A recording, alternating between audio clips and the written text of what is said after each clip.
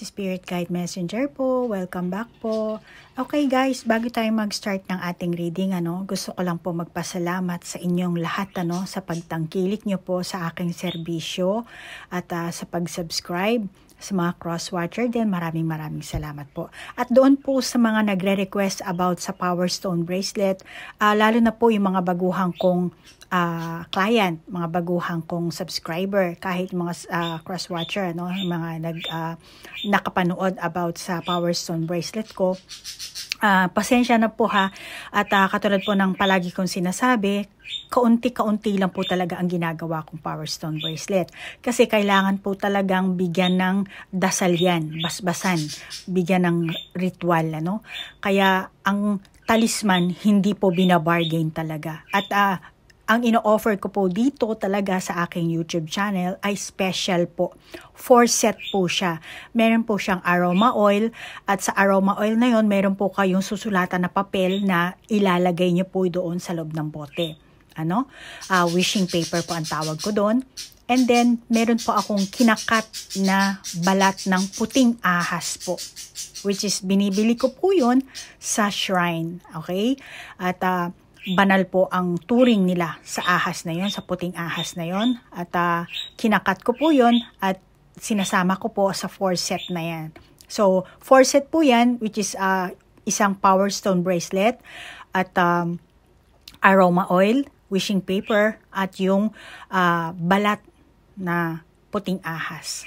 So, yan po ang uh, set po yan. Dito ko lang po binibenta yan sa aking YouTube channel. At yung ibang mga binibenta kong Power Stone bracelet dito sa Japan, ano, lalo na sa mga uh, Haponesa na uh, meron pong pumapakyaw kasi, which is bracelet lang po talaga ang binibenta ko doon. Okay? So, uh, meron pong nag-send sa akin ng question.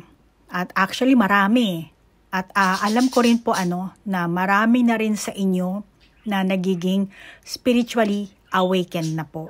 Ano, nakakaranas na po kayo um, yung dark night of the soul at uh, kayo mismo naramdaman nyo na isa na kayong kakaiba after ng yung iba sa inyo after ng corona ng covid ano bigla ang may nangyari sa inyong uh, kababalaghan.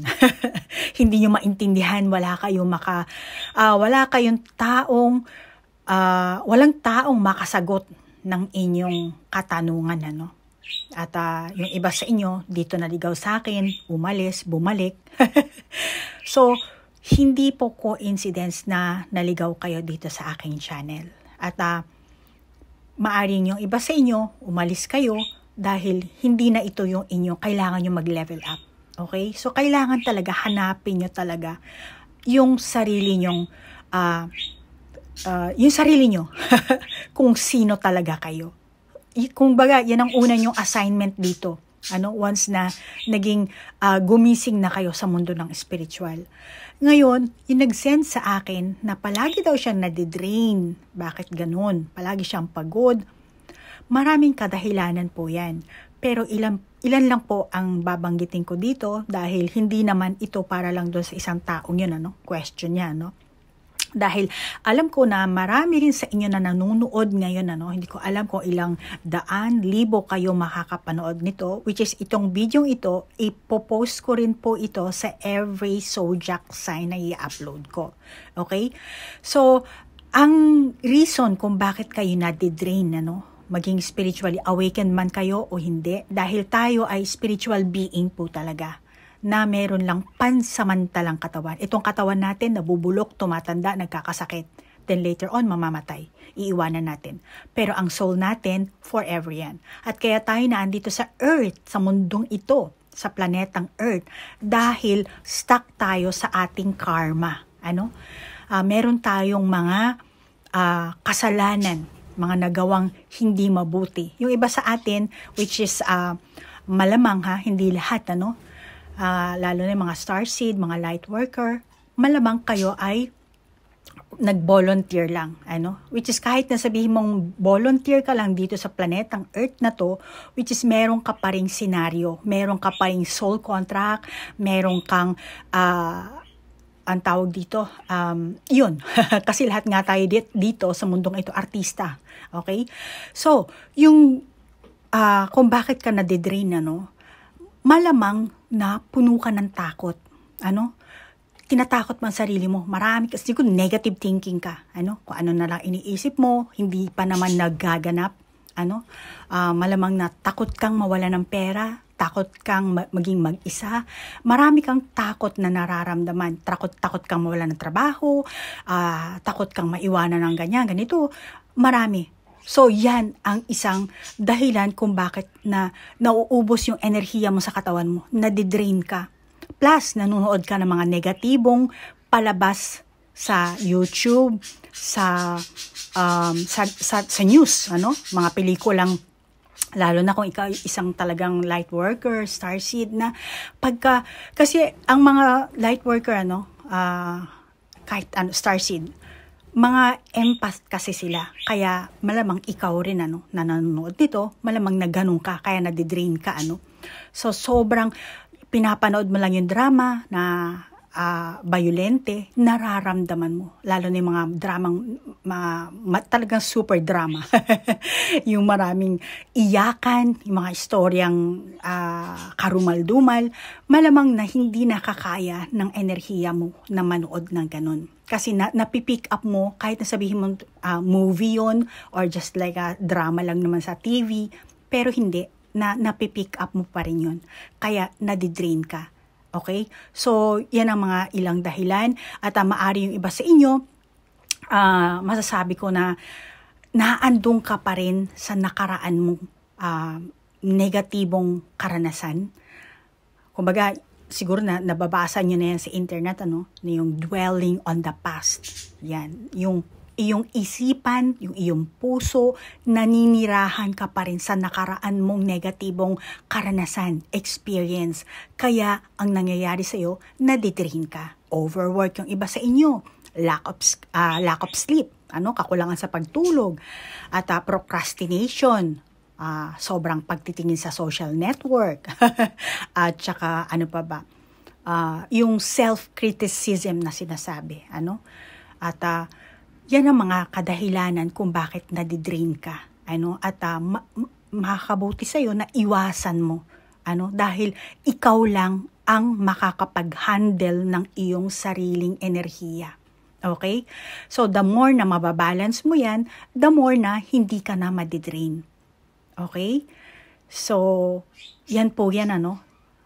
Kaya kung nakakaramdam kayo na parang hapong-hapo kayo, pag-isipan nyo kaya nga sinasabi ko palagi sa mga reading ko, kailangan talaga ng self-realization, self-awareness, self-reflection. Okay, Taurus, ikaw ngayon ang bibigyan ko ng reading, ha? At uh, ang intention ko sa paggawa ng video ito, naway mabigyan ko kayo ng kamalayan, pag-asa, at mahil nyo ang inyong mga sarili. At magkaroon ka Taurus, ano, ng pagmamahal sa iyong sarili, Taurus. Unahin mo muna ang self-love, okay? Ang self-love, hindi ibig sabihin na ikaw ay selfish na tao.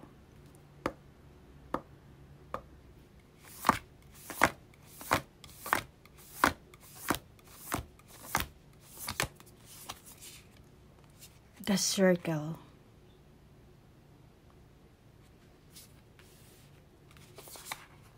dami.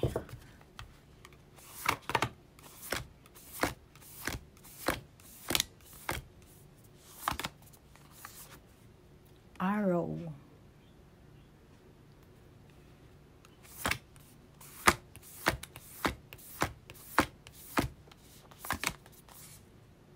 The crow.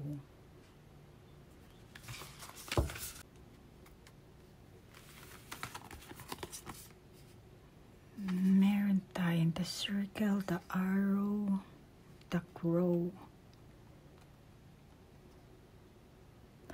Alam mo, Taurus, ano, ang estado ng pag-iisip mo?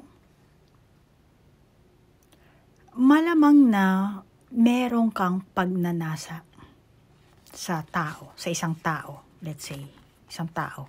Kasi nga, ang reading natin is yung iyong buhay, pag-ibig, ano. So, lalo na kung lalaki ka. Mm. At, uh, mm, itong taong meron kang pagnanasa dito, ano, uh, masasabi kong hindi kayo magkasing level. Ano? Maring yung outlook, mm, sexy, guwapa, edukada, estado ng kabuhayan, uh, ano ba ba? Hmm, mayaman, mahirap, kahit nasabihin mong middle class, mukhang isa pa rin tong hadlang. Uh, reputasyon ng pamilya, pamilya mo, ano? Pamilya niya. Yan ang nakakita kong mga hadlang, ano? Um, teka lang.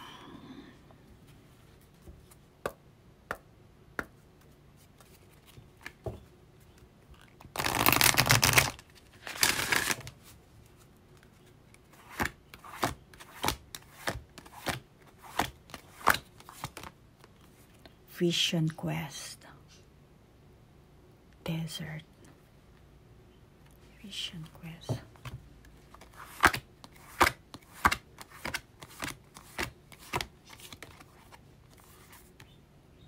Hmm, full moon. Full. Parang ang dami mong bilog dito ah. Hmm. Excuse lang. Ganyan, para... Hmm. Alam mo, Taurus, ano, kung, uh, for example, ikaw ay Taurus na babae, ano, hmm, malamang na may mga taong talagang naghahangad sa iyo. Ano? At uh, tingin kasi nila sa iyo, ano ka, isa, ikaw yung tipo ng tao na irresistible, masasabi ko. Ano? Hindi nila mapigilan or mapaglabanan yung mari hindi rin babae, ewan ko anong gender ang meron ka, no? Pero hindi mapigilan ng taong ito or ng mga taong ito ang pagkagusto nila sa'yo. Naakit sila sa'yo. Hmm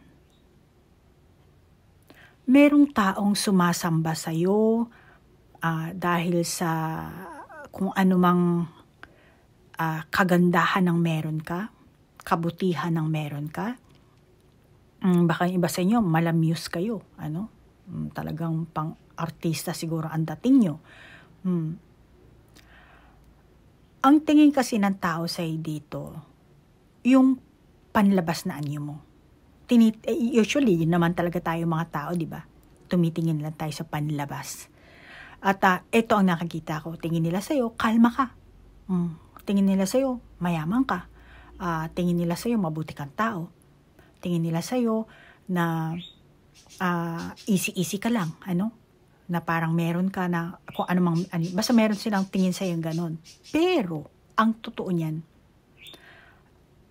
mali meron kang pagnanasa meron kang kung ano man yung mm, lalo na kung babae ka or mm, baka yung iba sa inyo madali kayong mabuntis kasi eto may bilog tayo dito ano full moon. And then tinan mo yung taba nito ano baka yung iba sa inyo Taurus madali kang mabuntis uh, dahil hindi ka talaga tatantanan ng kung sino man itong taong baka nabuntis ka na. Hmm, baka yung iba sa inyo ngayon pa lang ano Hmm. Mag-ingat ka na lang. Hmm. Mag-focus ka kung ano yung ginagawa mo kung kailangan mong mag-level up sa school, sa trabaho mo, kailangan mong kumita or ano man yun, mag-focus ka. Okay? At uh, hindi ko sinasabing lahat sa inyo, no? Yung iba. Kaya kung talagang gusto mong mag-level up sa career mo, kasi delikado, baka mabuntis ka, no? Na, let's say, mag-abroad ka pa, o lalo kung babae ka. Kahit sabi mo lalaki ka, no? Siyempre, hindi mo naman pwedeng basta-basta iwanan din yung, yung person mo, ano? Hmm. Or meron ka pang dapat na punan ng oras, ano? Mga responsibility siguro, ano? Mm, na para sa'yo, na mukhang hindi mo talaga basta-basta matatalikuran. Ano? Hmm. Or meron ka pa dapat na punan talaga. Kung ano man yun. Na hindi mo talaga dapat talikuran. Pananagutan. Ano? Taurus. Tingnan natin kung et, etong person mo, lalo na sa inyong mga ano, Taurus, thank you nga pala sa ano ha, nag-send ng question.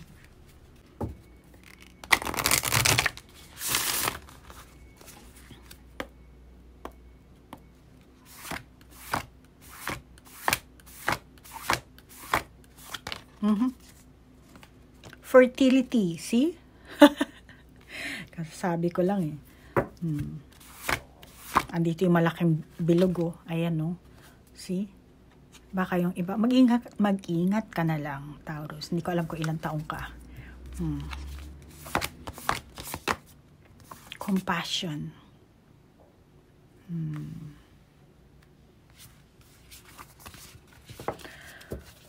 So,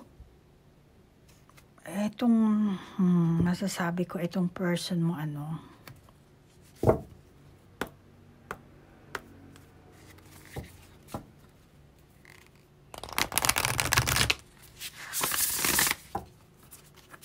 Alam mo itong person mo ano Taurus ma- makakaranas siya ng makakaranas or ma- ma- malamang yung iba sa inyo malungkot na. Hmm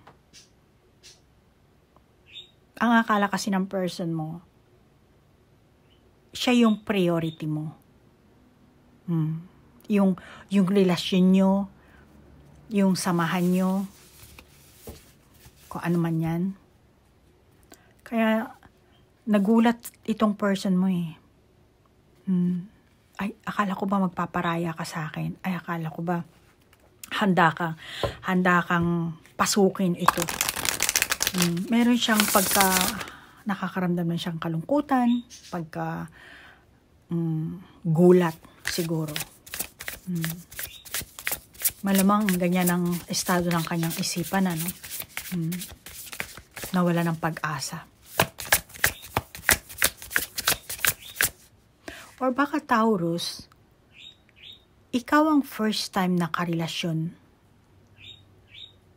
ng person mong ito or ikaw lang ang naging karelasyon niya na yung tipong umaasa siya na mas lalalim ang inyong samahan. Hmm. Body and soul. Body and soul.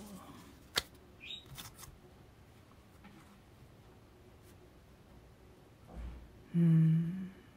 Akala niya siguro lalalim ang inyong pagmamahalan, pag yung talagang deep, deep, deep relationship. Iniisip niya, siguro na, uh, um, Taurus, saan ba ako nagkamali? Taurus, saan ba ako nagkulang? Hmm. Mukhang mahal na mahal ka nito, ah. Hmm. Mahal na mahal ka nito, Taurus. Hindi niya talaga inaasahan kung ano yung, Taurus, kung ano man ang desisyon ng meron kang ginawa or magiging desisyon mo pa lang ngayon, ano. Hmm. Yung gusto mo, yung mas pipiliin mo kung anong sa tingin mo na para sa'yo ay nakakabuti. Na sa kanya, ang akala niya, ito ang nakakabuti para sa inyo. Hmm. Kaya, malamang na itong person mo, hindi na siya, kung, anbawa dati nakilala mo siya na uh, masayahin, pala, palabiro, palagala, ano, malamang itong person mong ito, hindi na siya palabas ng ba, palalabang, palalabas ng bahay. Pasensya na, nabulol na naman ako. Hmm. Kani-kanina lang, naka, nagja-Japanese ako. Pasensya na. Hmm.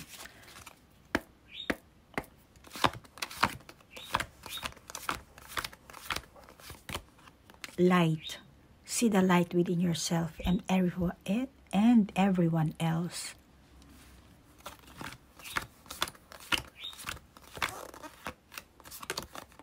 Hello and goodbye. Hello and goodbye. You'll soon see that this change will make things better. Hmm, malamang na nawala na ng pag-asa itong person mo. Or baka Taurus, um, pwede rin vice versa, ano? Hmm. Meron siya, umaasa siya kasi dito eh. Kaya iniisip niya na saan ba ako nagkamali? Saan ba ako nagkulang? Mukhang mahal na mahal ka nito ah. Hmm. Hindi niya talaga inaasahan yung magiging desisyon mo, Taurus. Mari yung iba sa inyo, uh, hindi pa ganong kata- katagal ang inyong samahan. Hindi ko alam kung ilang buwan, ilang taon, ilang araw, ilang linggo. mm. Pero, mm, binabaling niya na lang yung ibang ano niya, yung iba sa inyo, no, yung person niya, binabaling niya yung kanyang isipan sa kung ano man. Kasi nakakaramdam din siya ng pagsisisi, may galit siya sa sarili niya, naghahanap siya ng taong susuporta sa kanya, ano, tutulong sa kanya para maka, merong, hahanap siya ng tao na makakapag-reach out siya, magre-reach out sa kanya, makakaunawa sa kanya, or yung mapagbubuhusan niya ng kanyang damdamin, ano, na nagiging emotional kasi itong person mo masasabi ko yung iba nagiging negative. Negatibo ang takbo ng kanyang isipan, malamang dahil sa biglaang, biglaan kang merong ginawang desisyon dito. Na, hmm, meron kang ginawang desisyon dito na parang, hmm, kahit wala ka, kahit na, or kahit na wala ka, or meron kang ginawang na, um, masasabi ko, parang mas prioritize mo yung sarili mo Hmm. Hindi ko alam kung tama ba to or mali, pero yan ang meron kang sitwasyon sa buhay mo. Hmm. Kaya itong person mo, doon, naghahanap siya ng tao na ano, nagiging emotional siya eh. Tingnan natin kung ano yung, ano yung issue.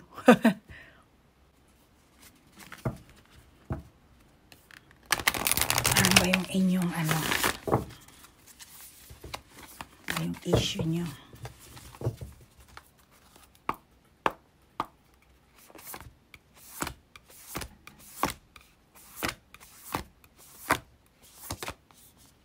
water. Water. Ayan naman, bilog na naman. Water.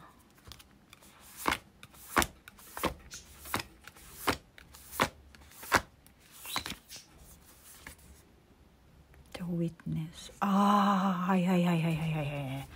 Okay. Hmm. Ito ngayon ang issue nyo. Hmm. Baka yung iba sa inyong Taurus, magkarelasyon kayo nito ng person mo, pero meron ka pang ibang karelasyon din. Dito ko nakakita ang hmm, feeling ng person mo kasi pinagtaksilan mo siya. Hmm. Taurus, meron ka bang ibang karelasyon? Pwera pa dito sa person mo? Hmm. Ikaw ba ang nagtaksil, Taurus? Kailan bahalang mag-adjust dyan, ha? Kasi ang feeling ng person mo, pinagtaksilan mo siya. Ang inakala niya, may third party na involved. At ang iniisip niya, yun nga, pinagtas- pinagtaksilan mo siya. At tingin ko kasi, mm, meron kayong misunderstanding. At yun ang nagdulot ng kalituhan hindi nyo nakita yung side ng isa, hindi niya nakita yung side mo. Side yung isa't isa. Yan ang nagdulot sa inyo ng uh, conflict. Hmm. And dahil meron tayo, marami tayong bilog eh, ano? Hmm. Masasabi ko, konektado ito sa pera din, ano? Hmm. Yung iba sa inyo talagang malamang na wala kayong naging closure Parang, paano nang, ba't nangyari yun? Ba't ganito? Ba't, bakit, bakit pinagtaksilan ako? Eh, wala na, ganun na nangyari. Hindi na, parang hello, goodbye, sorry. oh, no, walang sorry. Naghahanap ka siguro ng, ano dito, kasagutan. Ba't, ba't ganun? Bakit? Hmm. Itong person mo, yun, yun yun eh. Yun siya. Taurus, meron kang ginawa dito. at nauwi itong person mo sa ganong. Hmm. Meron talagang serious misunderstanding dito na nagdulot sa inyo ng conflict. Ano? Third party, involved pera. Hmm. Yung iba sa inyo, wala kayong closure. Or, if ever na yung time na ng inyong paghihiwalay, hindi nyo talaga sinabi sa isa't isa yung tunay na rason, damdamin, uh, kung ano man yun. Malamang na mayroon kayo talagang kanya-kanyang hidden agenda. Hmm. Hmm. Love from your parents, no matter what your mother and father la- hmm. Meron ka ditong ginawang ano, Taurus eh. Hmm Uh, love your par- love from par- suportado ka naman ng mga kamag-anak mo. Siyempre, kakampihan ka ng kamag-anak mo. Hmm. Pero itong person mo, hmm, litong-lito. Wala, uh, parang iniwan mo sa ere itong person mong to sa kung anong kadahilanan. Hmm. Pero, ang masasabi ko dito, lack of communication talaga kayo ng person mo. Kulang Hmm.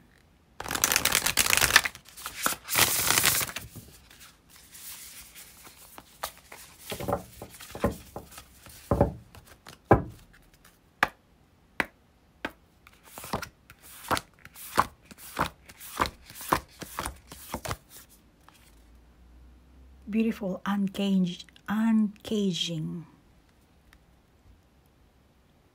Hmm.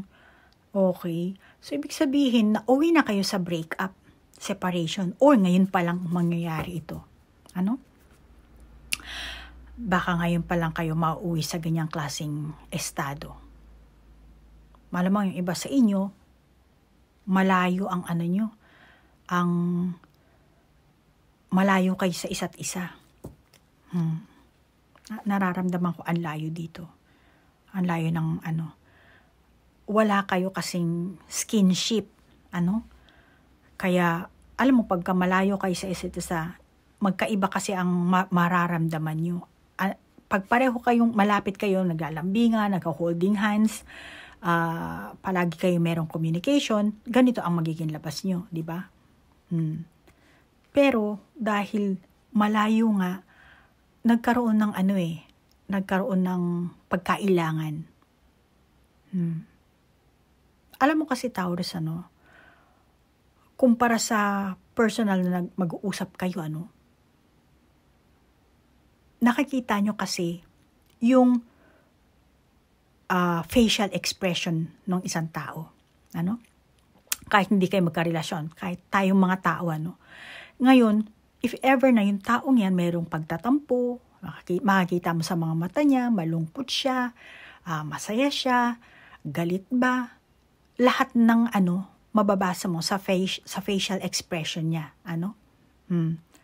So pwede mo siyang husgahan doon or face to face kayo magkikita, pwede mo siyang pigilan or yakapin, ano? Bigla kang yumakap sa kanya, ganyan, i-ano mo yung dibdib, yung ulo mo sa dibdib niya, ano? Hmm. Ang kaso nga wala eh. Hmm, talagang merong layo, ano? Merong distansya, masasabi ko. Hmm Baka yung iba sa inyo, video call or text lang, ano? Sa text kasi, hindi mo naririnig ang boses. Hindi mo nakakita. Hmm. Ikaw ang gagawa ng imagination mo ngayon dyan. sa video call naman, kahit na nababasa mo yung lungkot niya, yung ano, hindi mo mayakap. Hindi mo, uh, kung, kung ano man ang gusto mong gawin mo sa kanya, hindi mo siya agad mahawakan. Ano? Hmm. At pag pinatayan ka niya, 'di ba? Binabaan ka niya or isinarado niya yung video call nyo, wala na, putol na ang connection nyo. So malamang yung iba sa inyo, ganun ang klaseng ano nyo, ang separation na mangyayari sa inyo. Wala na kayong ano, uh, wala na, maaaring i-block ka, hmm, mag-change na ng Facebook account or telephone number. Hmm. So ang nakikita ko sa inyo dito,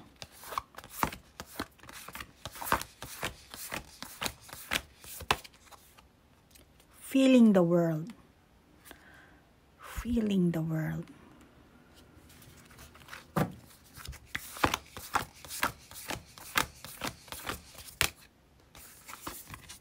The royal you. Hmm. Taurus, I'm sorry ha, may pagka-negatibo. Ikaw na bahala mag-adjust. Kung vice versa, vice, ikaw na magsabi. Ano? Buhay mo naman yan. Pero ang nakakita ko dito, ano? Merong dayaan na nangyari. Okay? Uh, maaring may nabuntis. Hmm. May dayaan eh. May dayaan. May pagtataksil. Hmm. Baka yung iba sa inyo ngayon pa lang maganap ito, ano? Kaya may dayaan man o wala, kung ano or sino pa man ang nandaya or nagkaroon ng gumawa ng third party, bottom line, wala kasi kayong masinsinan na usapan, commun- communication. Kulang ang inyong uh, yung ano, uh, bilang isang magkarelasyon, kulang kayo sa responsibilidad commitment, direksyon, ano? Kulang kayo sa pagiging honest. Kulang din kayo sa hindi hindi kayo honest sa mga tunay na masasabi kong nararamdaman nyo. Ano? Hmm. May mga kanya-kanya kasi kayong haka-haka. Uh, maram, malamang yung iba sa inyo, um, naghahanap kayo ng, kasi meron tayong the witness dito, ano? Hinahanapan nyo yung isa talaga na kung ano ba yung ginagawa niya. Alam mo yun? Hmm. Which is wala ka namang mapanghawakan. Wala kayong mapanghawakan dito. Ano? Hmm. Kaya masasabi ko dito, mari yung iba sa inyo Taurus, ano, mangyayari pa lang ito, or baka kasalukuyang nangyayari na. Ano? Yun, yun, yun. Wala kayong masinsinang usapan. Hmm. May kanya-kanya kayong hidden agenda dito. Hmm.